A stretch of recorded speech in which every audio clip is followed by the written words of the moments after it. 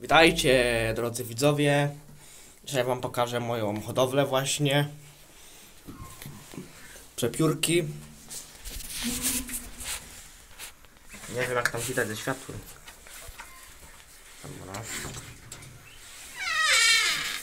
Tutaj mają właśnie taki klimat, że im zrobił taki leśny. I tutaj mają takie choineczki różne. O, tu mają w wodzie trochę marasu, mają w wodzie, tutaj trzeba to wyciepać. E, Daję nim właśnie szrut. Szrut. Specjalną dosypkę do kur. Taką, żeby jajka niosły. O, chodź kuleczka. Chodź. Śliczny. No, przepiórciu. Dobra. A tobie co się stało? A ty se tak jadłaś, ja? Se jedz stąd. A jest z ziemi.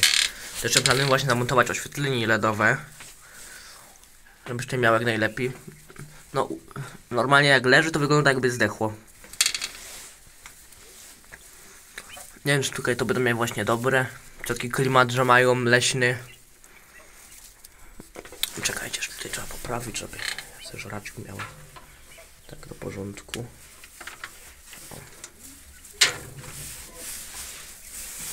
No, tutaj mają taki porę zrobionych takich rulonów z siana, żeby tam sobie fajnie miały to całe. No dzisiaj są pierwszy dzień tutaj. Bo właśnie byłem na tych rolniczych tych i patrzę, no to przepiórki, no to kupiłem. Fajne świniaczki też tam były. Ale se przepiórki kupiłem.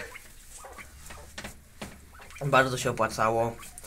Bo są no po prostu takie słodziutki.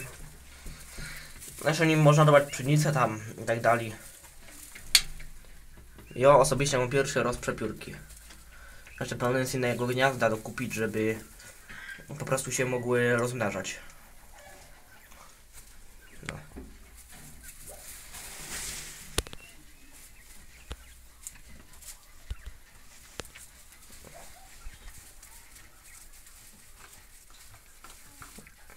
Urocze są normalnie. Jeśli ktoś by miał właśnie też przepiórki i miał inne gniazdo, aby mnie szukać na Śląsku, to to niech do mnie napisze właśnie. Bo tutaj ze Śląska to właśnie te przepiórki by szło wziąć właśnie też i kupić.